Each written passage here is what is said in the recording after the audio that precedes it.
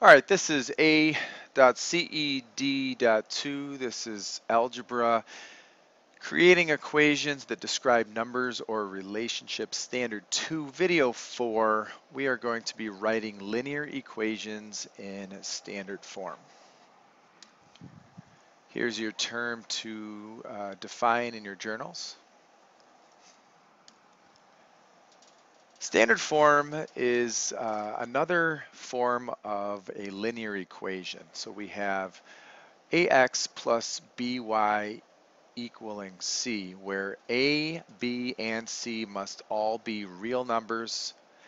a and b cannot both be zero at the same time. When that happens, you're going to lose both of your variables. Um, because they'll both be zero, non-existent, and you'll be losing your x's and y's, which would not allow you to plot any points to create this line. Here we're going to write an equation in standard form of the line shown. So there is given information. You have to use any piece that they give you uh, to help create this standard form equation. So I know that in a line I'm going to need uh, a slope and some type of intercepts. So let's uh, figure out what the slope of the line is. There's two ways that you can do it. Uh, you can take the given ordered pairs, throw them into your slope equation and figure out your m. Uh, since they give us a grid, I would like to just use my uh, my vision here to find my rise and my run. So if I take these two points, my rise will be uh, up three and left one. So M is going to be rise three and go left one, and that simplifies to negative three.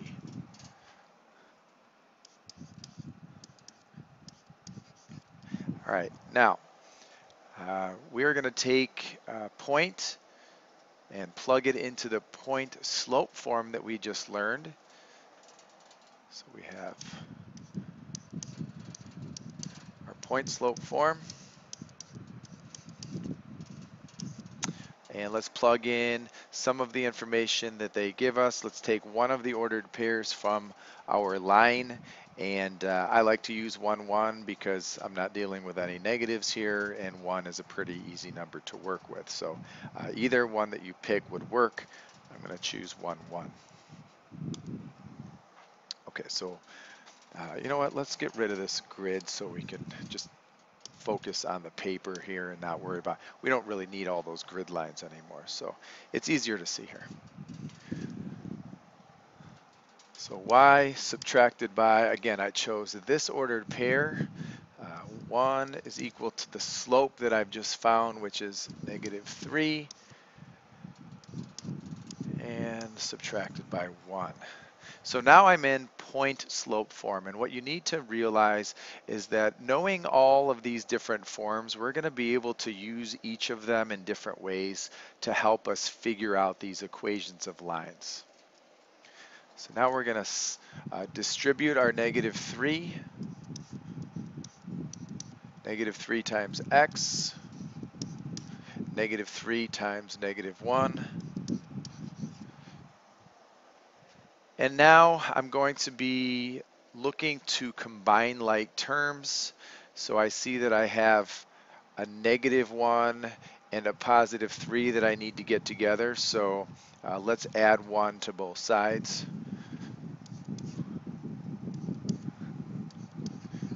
And I know that positive 3 added to 1 is positive 4.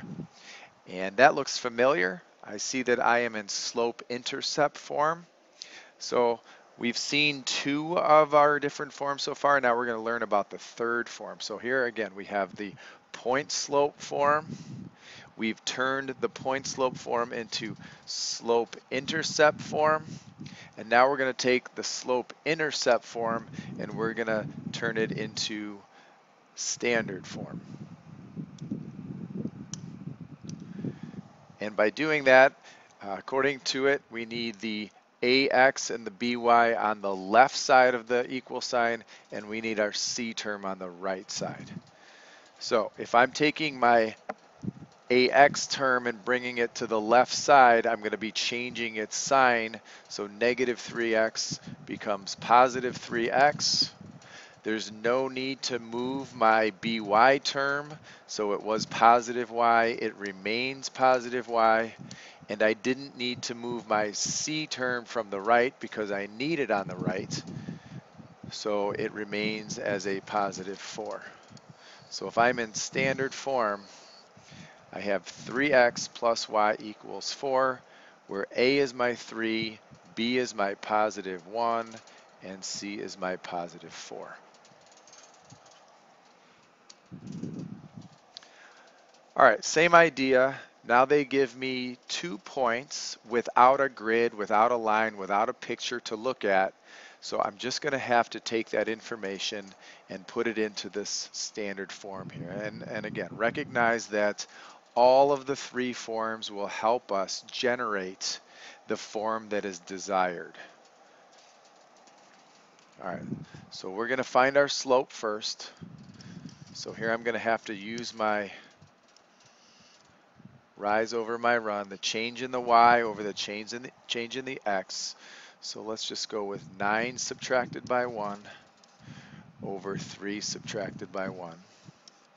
And we're going to get uh, 9 minus 1 is 8, and 3 minus 1 is 2, so we have a slope of 4. now, again, we're going to take one of the points, it doesn't matter which one, and plug it into our point slope formula. So we have, again, I like to pick 1, 1, it's easy to work with. So point slope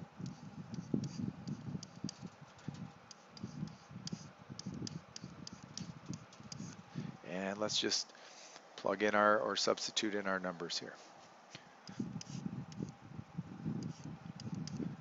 M is 4, x sub 1 is 1. All right, use your distributive property. We are now in point slope form. Let's get out of point slope form.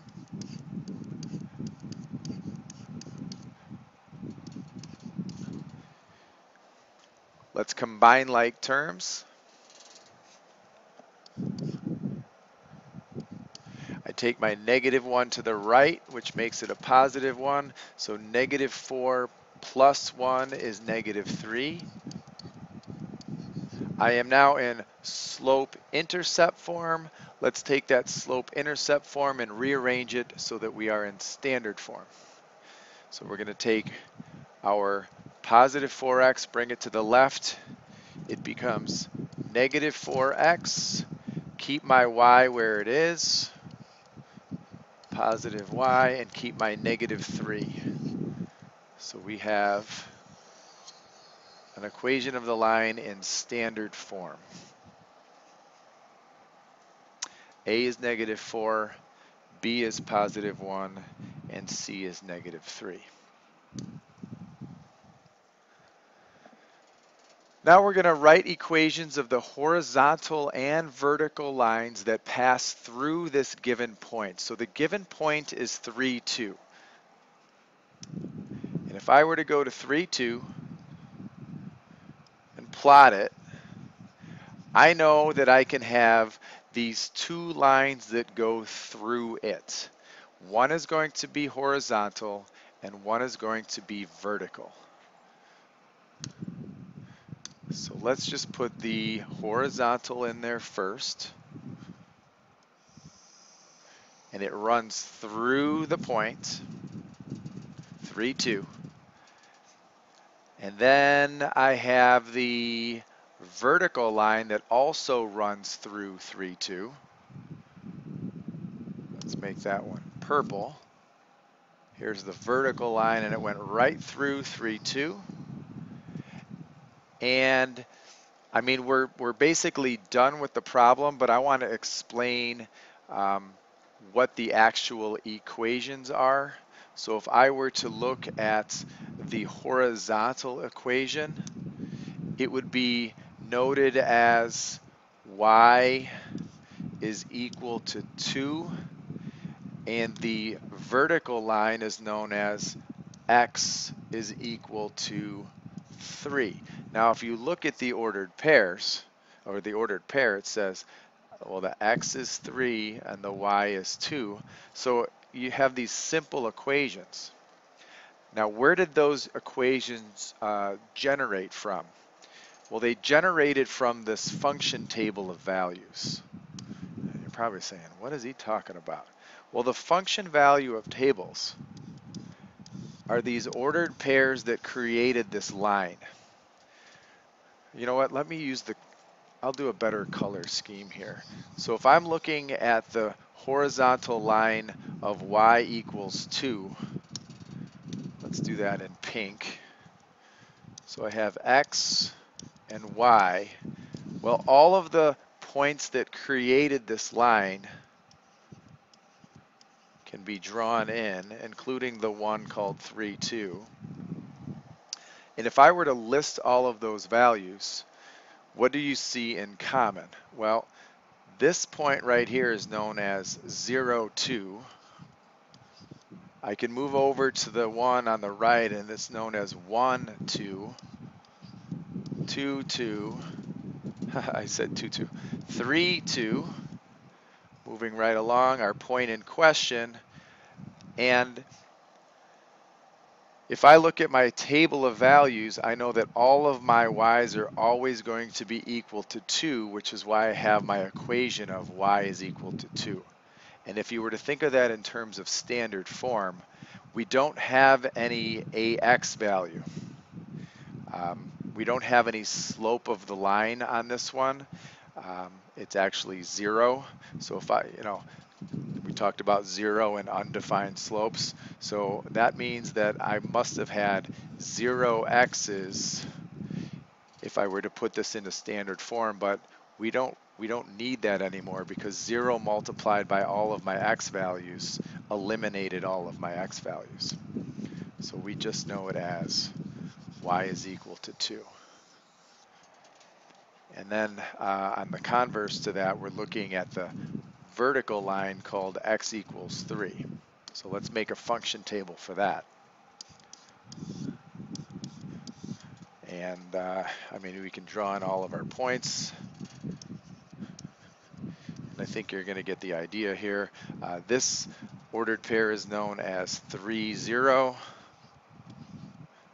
we have 3, 1, 3, 2, 3, 3. And you see the theme here that all of your x's are equal to 3, which is where we come up with this x equals 3. And looking at that in standard form, it looks like we've lost our y value. So it would look like this. x plus 0y is equal to 3. And we know that the y is now eliminated. If you think back to our definition of standard form, where you can't have both A and B being zero because then they're both gone and you don't have a line. So we can simply state it as x is equal to 3. All right, last one. It says find the missing coefficient in the equation of the line that passes through this point and then write the completed equation. So if I'm finding the missing coefficient, I know that A is a 8 is a coefficient, B is a coefficient, and our C is known as positive 4. So we're going to try to figure out what this B term is. So using this given point, this is your X and this is your Y, we're going to substitute them in. So 8 times X plus B, which is unknown, times 4 4 coming from our point, and that's equal to our given C. So negative 40, B times 4 is known as 4B. Just rewrite that a little bit, it's a little cleaner. And now, if we're solving for our variable, we know that we need to get our like terms together. So let's bring our negative 40 to the right side of the equal sign. So that's going to look like positive 4 added to 40, which is 44. divide both sides, and you know that your B coefficient is 11. And now we take all of that information and put it into standard form. So we have 8x, our b is now positive 11, equaling our c. Okay, in your journals, please define the given term.